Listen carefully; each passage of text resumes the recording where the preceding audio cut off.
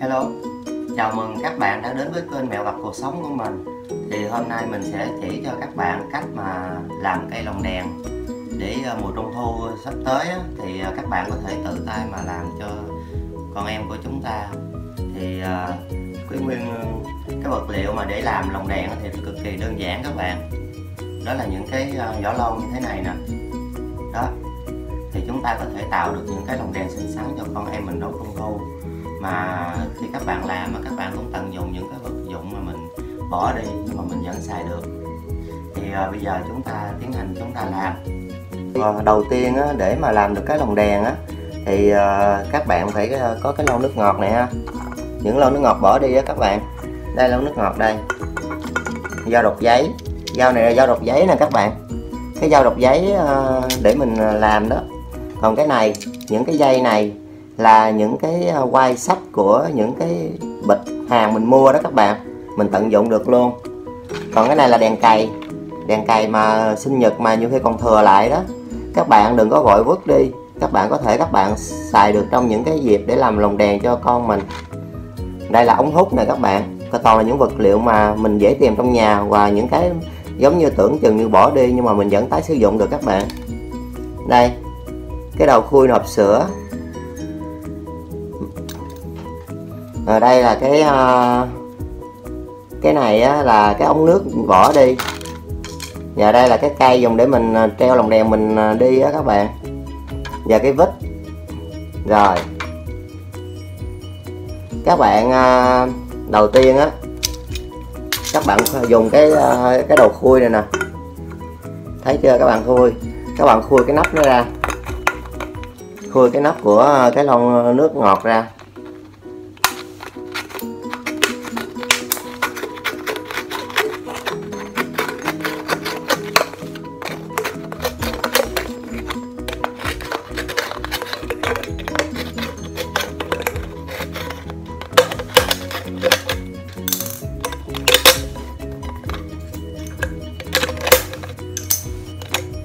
Bỏ cái này nha các bạn. Mình bỏ qua một bên.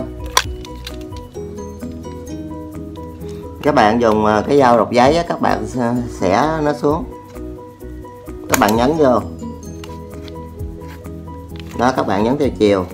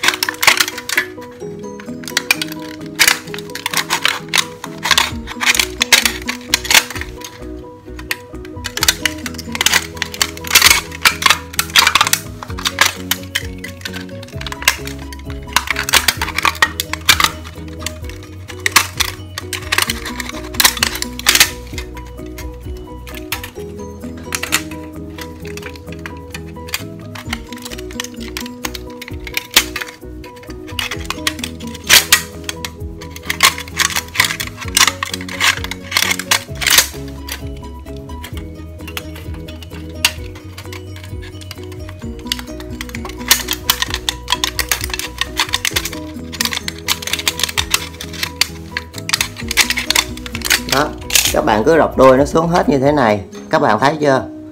Thì à, khi mình rọc đuôi nó xuống hết như thế này á, thì mình thì mình à, sẽ à, lấy tay của mình mình đẩy nó ra. Đẩy nó ra theo chiều như thế này nè các bạn.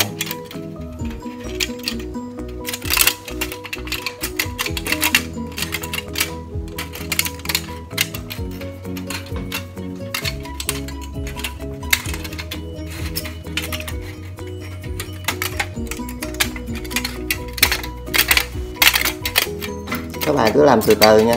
Nó dễ lắm các bạn ơi.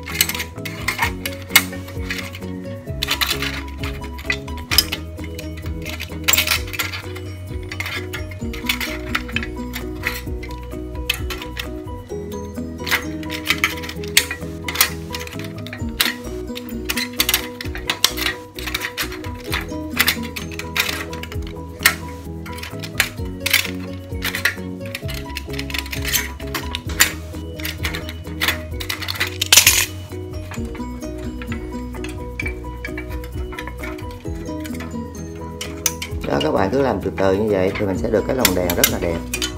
Đây là cái uh, sản phẩm của mình nha các bạn.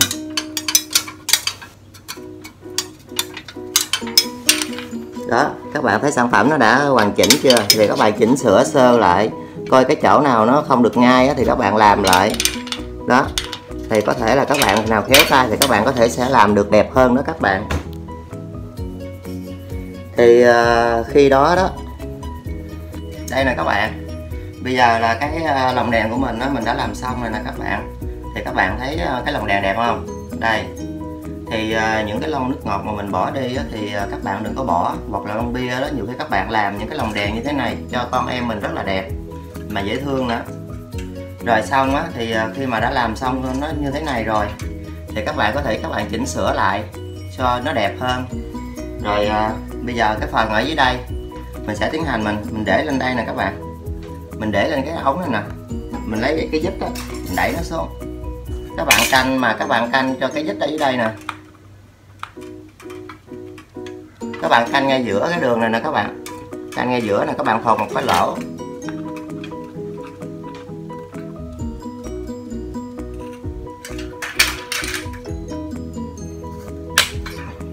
Đó.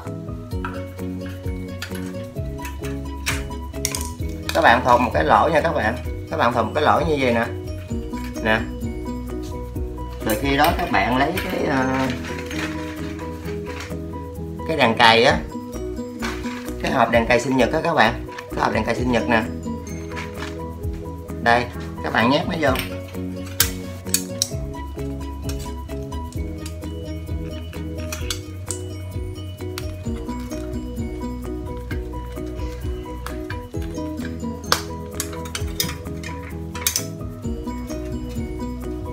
Rồi khi mình nhét vô trong thì nó về này các bạn. Đó, các bạn thấy chưa? Thì lúc đó mình lấy cái cây ờ, đèn cày đó mình để nó vô rất là dễ dàng. Đó, các bạn thấy ờ, trong đây nó đã hoàn chỉnh rồi nè. Đây, cho các bạn xem. Thì khi đó các bạn lấy cây đèn cày này nè. Cây đèn cày á các bạn các bạn đốt sơ cái đất là các bạn để vô.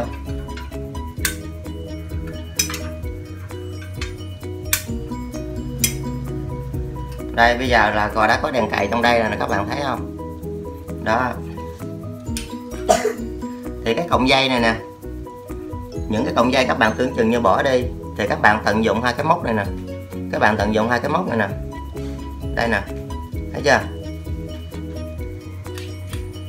Các bạn luồn nó vô đây. Luồn nó vô cái chỗ cái khe này nè các bạn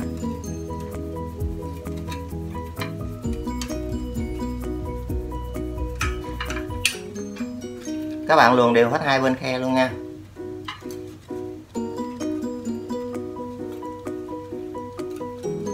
Xong. Thì à, bây giờ mình à, sẽ lấy ra một cái cọng dây này thôi để cho nó đẹp quá mà. Đó mình rút ra như một cọng này. Các bạn à, lấy cái ống hút á. Các bạn lấy dao đục giấy các bạn cắt ống hút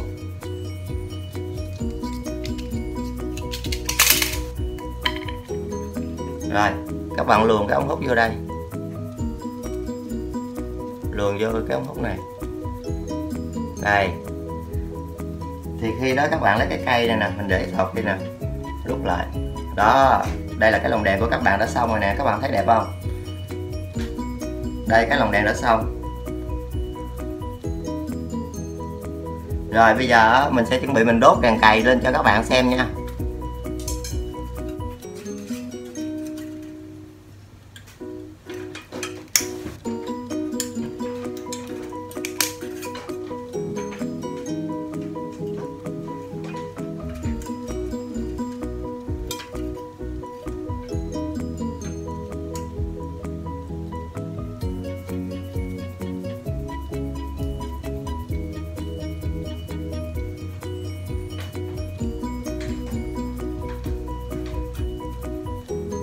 Bây giờ là cái ờ, lồng đèn của mình đã xong rồi nè, các bạn thấy nó đẹp không?